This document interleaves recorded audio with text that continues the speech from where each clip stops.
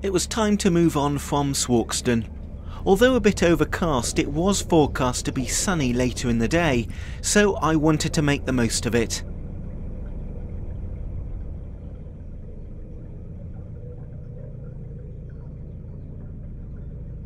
Weston Lock is situated just south of the Derbyshire village of Weston-on-Trent.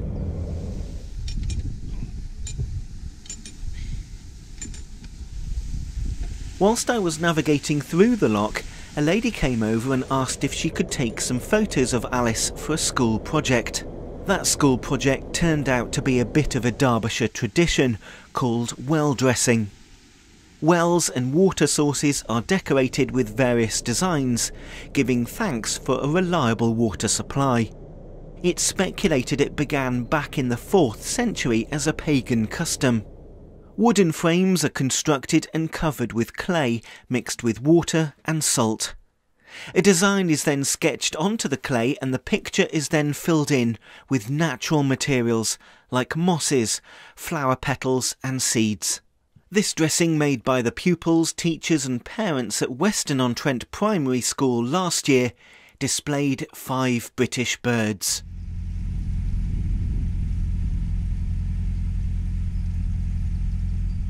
That was a bit awkward because I've just gone through Weston Lock on the Trent and Mersey and my alternator is wired into my lithium batteries. Now I've got a battery management system that should turn something on or off depending on the, the rate of charge and I'm still figuring that last bit out. So I needed to manually turn the charge off from the alternator to the batteries before the voltage got too high. I forgot to do it whilst I was at the lock because I was busy nattering to some people. Um, I went through the lock, some more people behind me, um, and I went off down the cut a little bit, nice and quiet, no one around. I put the boat into neutral um, and stopped and walked down my gunnels to go in the, the bow door and go and turn the, them off. At that point, the boat sort of swung around in the lock and sort of got stuck but to all intensive purposes, to the people back on the lock bridge, all they could see is a boat at a weird angle, stopped, Molly stood on her own on the stern and me nowhere to be seen. So there was a little bit of frantic people asking, oh gosh, uh, you know, I could see them looking, is he okay, is he okay? Because that's the sort of thing you do when you're on the canals, you look out for each other. Um, and there were about five or six people there, all sort of looking to see where on earth is he? And then of course my head pops up and I carry on walking back along the gunnels and everything's fine.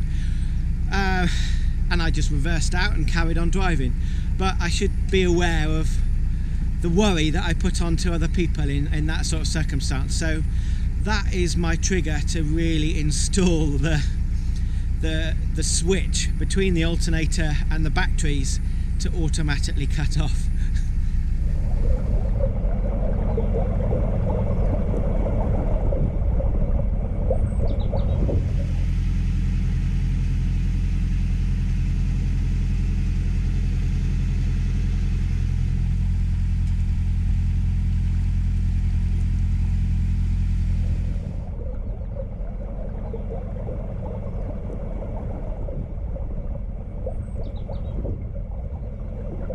bit of a good deed for the day. Um, just as I was going through Weston Lock, which is the previous lock, halfway down, another boat came around the corner, and there's nothing worse than following another boat going in the same direction, and they're double width locks. So there's a lot of water to move. So I thought at this lock, I'm going to take it nice and easy and fill it up, and the pair of us can go down from now on and the pair of us can go through all of the different locks right the way out onto the River Trent if that's as far as they're going. Come on then.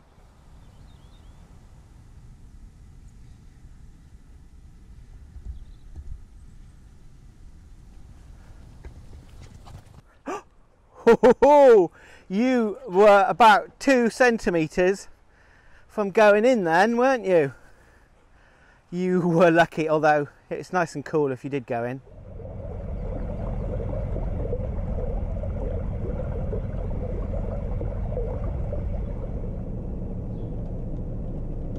James Brindley developed the canal through Shardlow in 1770.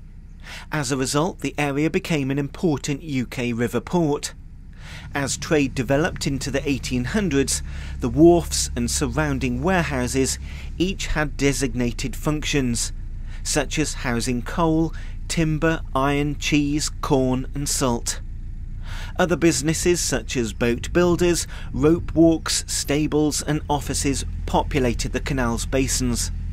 Many still being used for the same purpose some 200 years later.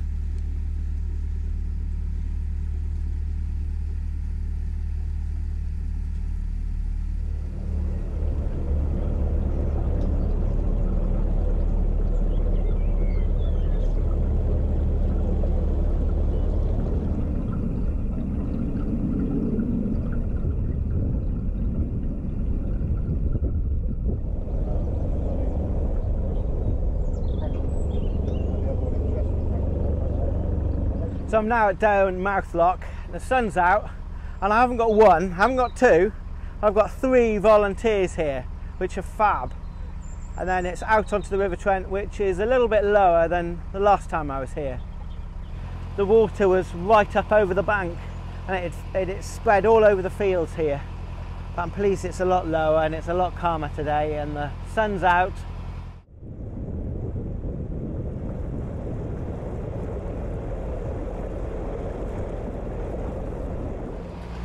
just there is where the Derwent meets the River Trent.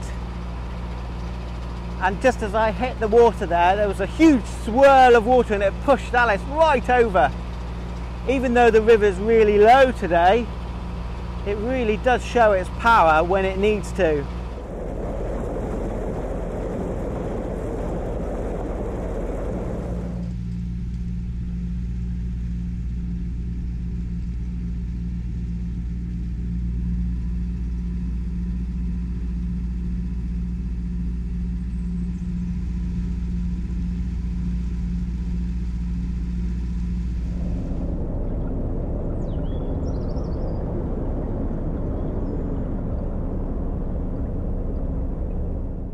This is Sawley Floodlock, and sometimes when rivers connect with canals, they have red tops to their locks.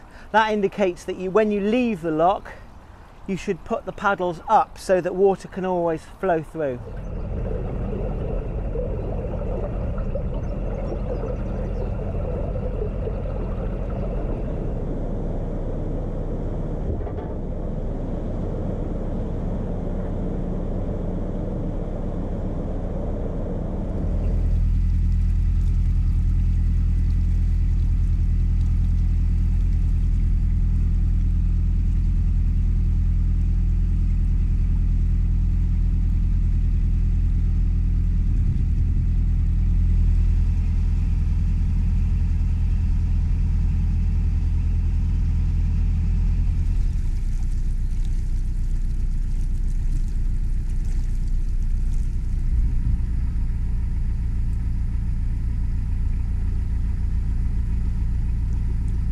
A couple of months ago I couldn't travel along this stretch because the, the River Soar and the River Trent were in flood.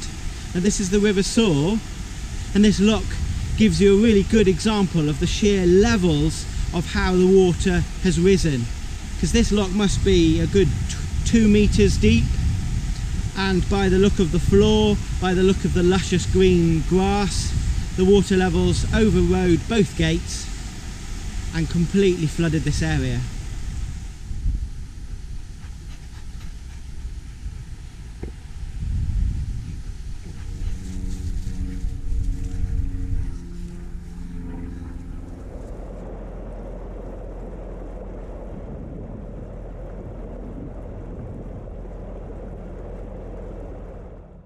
Continuing south on the River Soar, I passed the floodlocks at Kegworth that were thankfully open today and turned the corner towards Kegworth New Lock. Even though a narrowboat was in the lock and the gates had been closed, they kindly went across the lock to reopen them once they saw me. I made sure I thanked them. And because of the sheer power of this lock, it benefited both of us. We held back in the lock's chamber and with two boats side by side, it reduced the water bashing us about. Once I was up on the calm top section of the River Soar, I found a nice mooring spot to settle down for a few days.